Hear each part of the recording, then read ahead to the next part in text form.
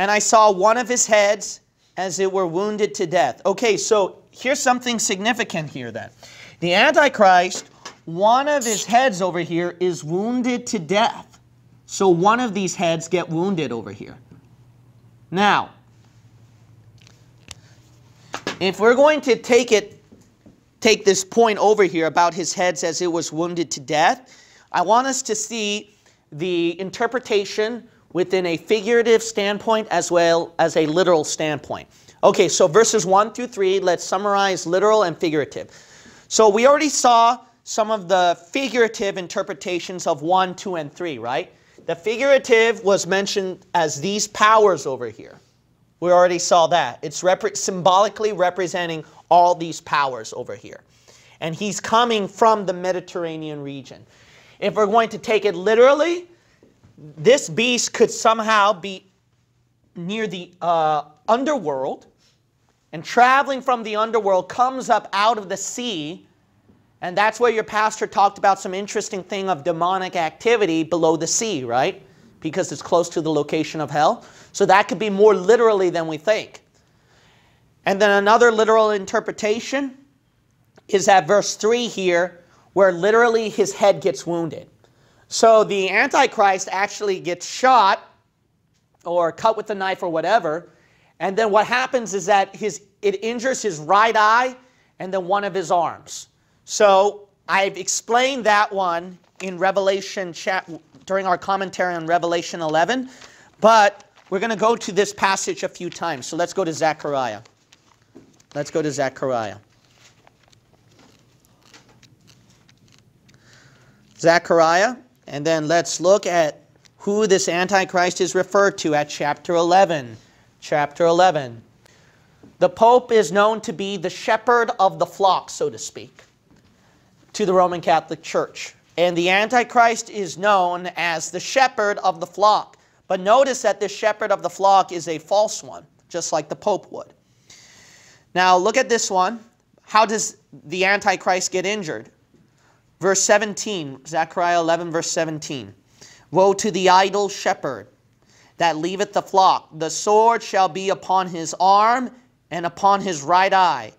His arm shall be clean dried up, and his right eye shall be utterly darkened. So that's where the Antichrist gets injured. That's why literally his head gets injured. All right, let's go back to our main text.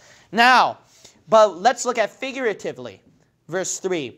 If we're going to take this symbolically and figuratively, Remember, it says one of his heads, right?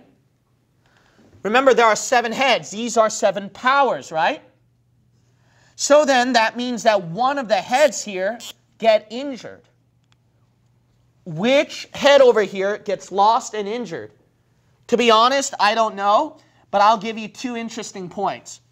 Dr. Ruckman says that he, he, he's betting on Alexander, but he's not sure, he says.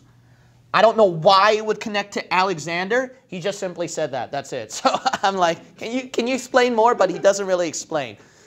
But I noticed that he's uh, reading with Daniel compared to Revelation with this. And I'll tell you what, Daniel, when you look at Daniel chapter 7, that coincides with Revelation 13. Amen. And Daniel talks about what? This he-goat, Alexander the Great that comes out. And the, he is also known as King of Grecia, Prince of Grecia. But guess what? Who is called King of Grecia? The Antichrist. If you don't believe me, let's go to Daniel.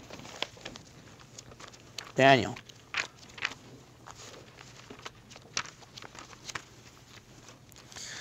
All right, we're going to go past chapter 7. Then we're going to look at chapter 8. All right, we're going to look at Daniel chapter 8. We're going to look at verse 21. Verse 21. Look at this. So, speaking of Alexander the Great, but it transitions from Alexander to the Antichrist. That's why I mentioned to you before, Alexander is a great type of the Antichrist, so he definitely qualifies as one of the seven heads. So take a look at this. So, uh, verse 21 And the rough goat is the king of Grecia, And the great horn that is between his eyes is the first king. So this is talking about Alexander the Great, where he conquers Media and Persia at verse 20. Okay? Now, look how it talks about Alexander the Great, but later on the language does not sound like Alexander the Great. It's like switching to the future time period, the Antichrist. Keep reading. Now that being broken, whereas four stood up for it, four kingdoms shall stand up out of the nation, but not in his power. That's historically proven true. Alexander's empire was divided into four different kingdoms. One of them was Syria.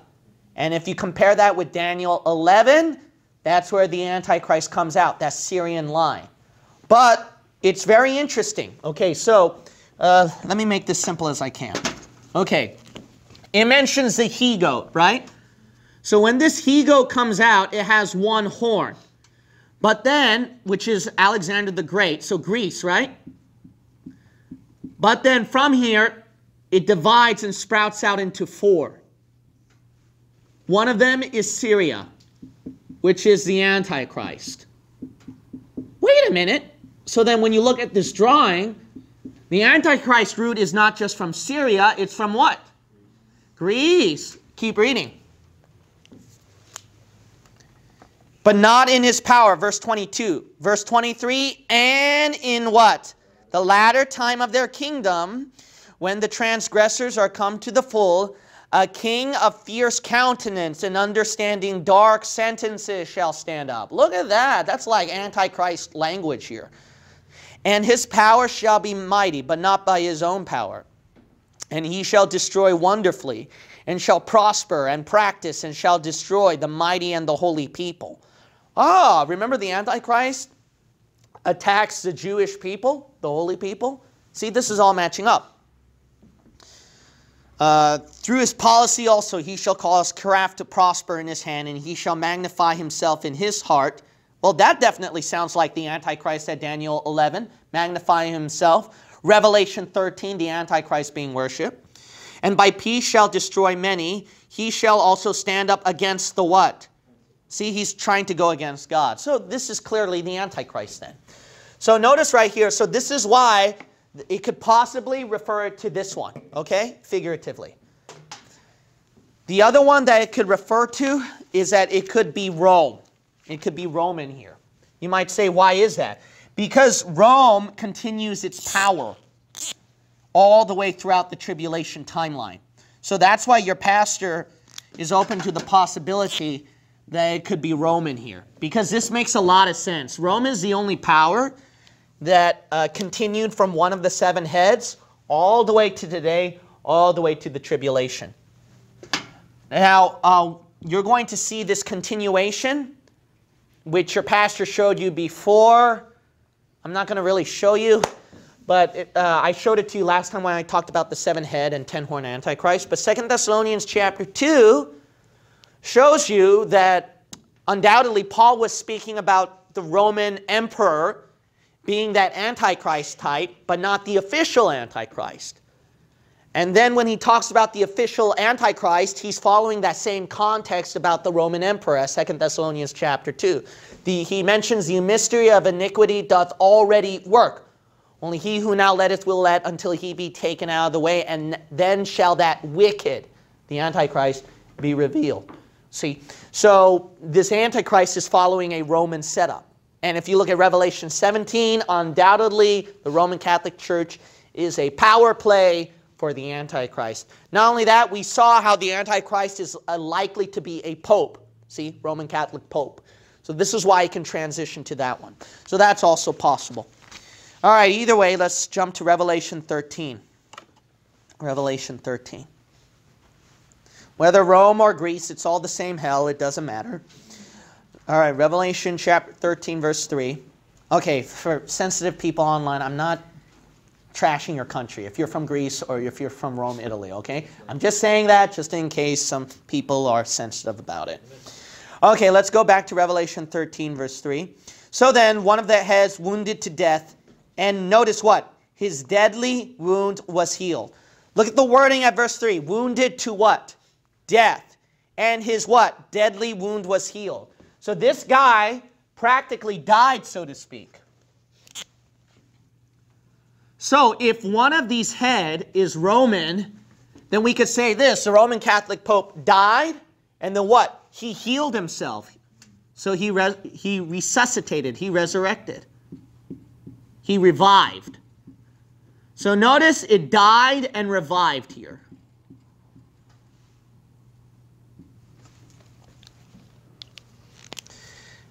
Notice certain languages too. We've already uh, shown this at a few verses before, but let's look at it again. Review. Revelation chapter 11 and verse 7. Revelation chapter 11, verse 7. And when the, they shall have finished their testimony, the beast that what?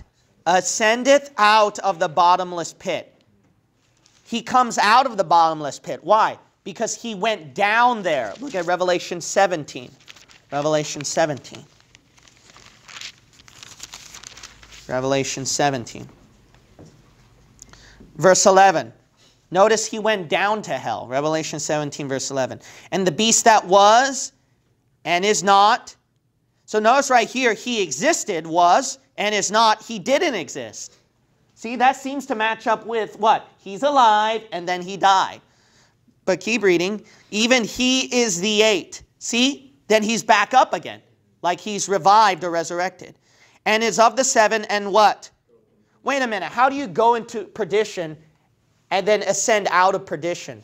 Unless what? But he originally came from the sea, it said, right? So unless you say it this way, unless you say he did come out of the sea and then he died, went down to the pit, and then when he resurrected, he came up out of the pit. See that? Uh, let's look at Revelation 13. Revelation 13. So there's no doubt that he did die and then he resurrected. Look at Revelation 13, 14. 13, 14. The last part of the verse says, The beast which had the wound by a sword and what? Did live. See that? So it's like he revived, he overcame it. So there's no doubt from the wording of Revelation 13 about dead and like a revived system. And we looked at Revelation 11 and 17 that he did exist and then went to perdition, came up out of perdition. This, but he originally came from the sea. This would all make sense. So again, review. Originally came up out of the sea. Matching with Daniel chapter 11, that he's from the Syrian Jewish region originally. But then somebody assassinated him. So then he died. Deadly wound, wound by a sword, did live. So then he went down to the pit, goeth into perdition. Revelation 17. The verse says, Beast was, he was originally alive, and is not. He didn't exist, so he died. Even he is the eighth, so he came back up again.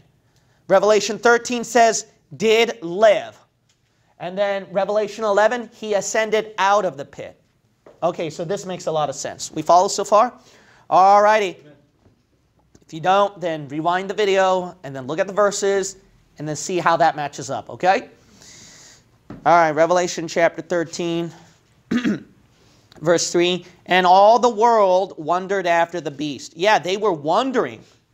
They were wondering, wow, this guy survived. So why would they wander after the beast unless he died and resurrected, right?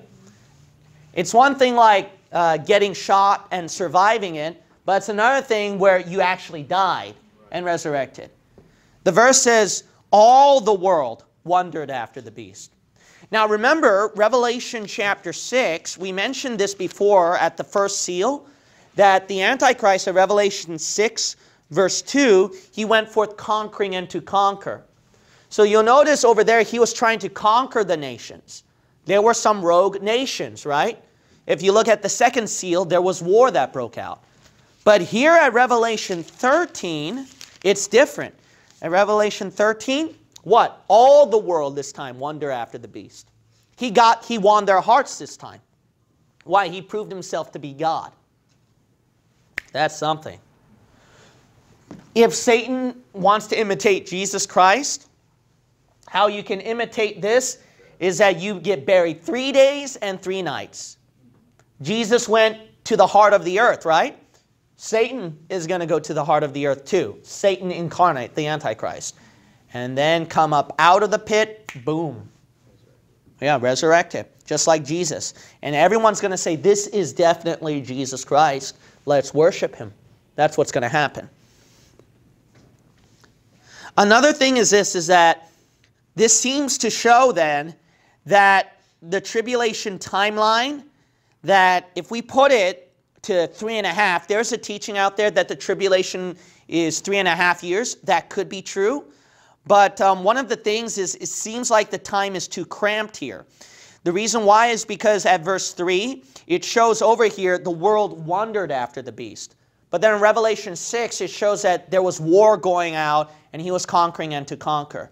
Not only that, the beast, he was alive before, but now at Revelation chapter 13, verse 3, he resurrects. So there has to be some kind of time before that. See that? So that's why um, uh, I'm prone to go more of a traditional route, seven years. But uh, I could be wrong about that too. I've heard many. I've heard different theories: Th uh, three and a half, seven, ten and a half. I've heard 14 and 14 and a half before, and then uh, 40, and then God knows how other, how many other years. You know, I don't know. But anyway, so but this shows right over here that maybe three and a half might be too short. Maybe. But let's keep reading over here. Verse 4 And they worship the dragon. Can you, did you read that correctly? They worship the dragon. They worship Satan. The whole world will worship Satan. That's shocking to you, but it will happen. Why? Which gave power unto the beast, because it's through this beast. See, this beast, how does he come out as? Well, let's return to our main text at verse 2 which I neglected. Let's go back to verse 2. The beast which I saw was like unto a leopard, right? All right, so this leopard over here, what would it represent? It would represent an integrated country. How so? Because it's combining this country and then it's combining this country. Lion, bear, and then it's combining this, leopard. Now compare that with Daniel 7. Go to Daniel 7. Now I mentioned this to you last time in our teaching of the seven-headed dragon, but let's briefly review, okay? Let's look at Daniel chapter 7. There is no doubt, if you want to make a bookmark, Daniel 7 goes hand in hand with Revelation 13. You're going to see a lot of clues there. Daniel 9 goes hand in hand with Matthew 24. You, you, so these are two keys that I would like to give to you. If you do that, it's going to be very eye-opening when you open up uh, the scriptures about end times prophecy. Okay, let's look at Daniel chapter 7, verse 3. And four great beasts came up from the sea. Wait a minute, that's same thing like Revelation 13, a beast comes from the sea. See, it's the same thing. But let's keep reading. Diverse one from another. These are all different beasts. The first was like a what? Lion. Okay. Now, all Bible scholars agree this is representing a kingdom and a country. Okay, a kingdom and a country. I beheld till the wings thereof were plucked, and it was lifted up from the earth and made stand upon the feet as a man, and a man's heart was given to it. Let's look at the next country and kingdom. And behold, another beast, a second like to a bear. so we see so far this one country lion. See that? One country bear. This Antichrist is a integrated country. See that? Integrated with the beliefs of different countries. Let's keep reading. Uh, verse 6 After this I beheld, and lo, another like a leopard. See another country. Ah, but look at verse 7. This is verse 7. Revelation 13 1. This is the beast John and Daniel saw together. Ready? After this I saw in the night visions, and behold, a fourth beast, dreadful and terrible and strong exceedingly. Well, that sounds a lot like the Antichrist beast at Revelation 13.1. Someone very great. It devoured and brake in pieces and stamped the residue with the feet of it. So notice right here, it had a strong mouth and a powerful feet. If you had a mouth like a lion that can do that, and a feet of a bear, you can do wonders. Whoop! Wait a minute. Revelation 13, right? Oh, but let's keep reading. And it was what? Diver- look at carefully at the wording of your King James Bible. Diverse from all the beasts that were before it. It just some people just gloss through that simply saying, "Oh, it's just different from all the other beasts." No, no, there's something more careful to that. Diverse is the key word as well as what? All the beasts that were before it. See, all the beasts that were before it and it was diverse. See that? Let me point that out at the picture.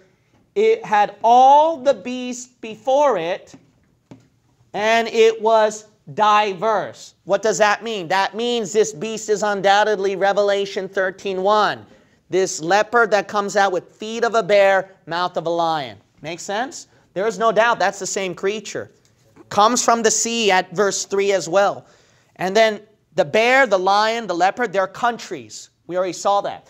If this is coming out in the future, during modern times, we have to compare the we have to see which countries would most likely fit modern countries for the end times that would match up with this beast. What are they? Your pastor told you this before. It would be England would be the lion, the bear would be Russia, and leopard would be America. Why?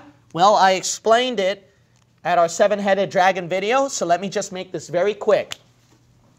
So remember it says mouth of a lion. What's, the, what's pretty much the world's language, a universal language that even foreign countries learn in schools? It's English. So you see England. Not only that, Daniel chapter 7 showed this lion had wings. And then if you look at uh, one of the uh, England's armed symbols, it shows that griffin. And then one of Russia's symbol is actually the bear, believe it or not. But when Russia was conquering the world, and Daniel 7 says uh, the bear was walking, it was rising up on its two feet to conquer and devour. Russia said that it, a bear that walks like a man, so to speak. It's kind of that kind of phrase when they were conquering the world. So it matches up with that one. Uh, also, America, why would America be the leopard? Very simple. Because notice the Antichrist main body is a leopard. And a leopard has the three racial colors of all different races a white belly, a yellow skin, and black spots. Sociology 101 used to teach that that would be Mongoloid, Negroid, and Caucasian. So notice right here, not only that, America, if you look at all the other countries in the world, it is a country with English as its main language, and the way that it's moving and conquering the world is like a communist type of country. There is, so this is no doubt, this is no doubt the match. Some people who ignorantly say Russia is not communist, no, no, okay. I don't care what, I don't care if it's officially not known as a communist country. Look, you look at the government, you look at the setup, and I have some members who actually lived in Russia and came over here. They know that pretty much is communist if you're going to be plainly honest about it.